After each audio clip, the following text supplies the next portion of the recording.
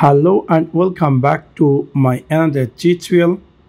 In this tutorial i'm going to share with you how to enable privacy password in your vivo y11 so let's take a look how to do that.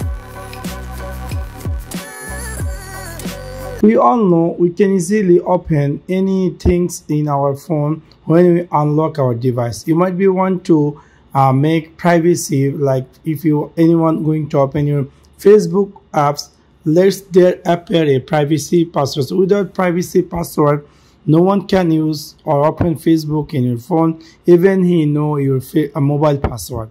So in this case if you want to do that you can easily go into device settings section scroll down and then you will find here something called fingerprint face password. Simply click that and here you will find here privacy and app encryption. I'm going to choose that.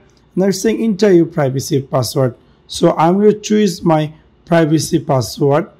Uh, again you need to type the same verify the new password. I'm going to type the uh, new verify password. And now it's saying app encryption. Here you will see all the apps installed in your phone. It will appear here now if you want to lock some apps you can easily lock for example i want to enable uh, album for encrypted password and also i want to enable facebook too. And also you can enable more apps if you want.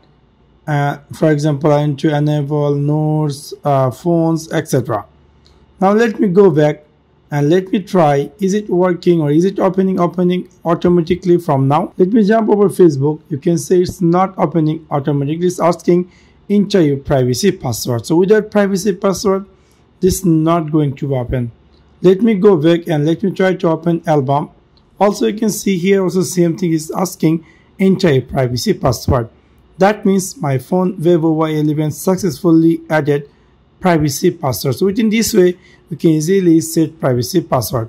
You can see just now I was set a privacy password. I'm going to type that privacy password and you can see this device is automatically open. Let me go open Facebook.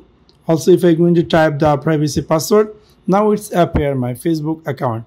So within this way, you can easily enable privacy password in your Vivo Y11 and make your phone more secure. So that's one now. Thanks for watching my video. See you next one. Peace.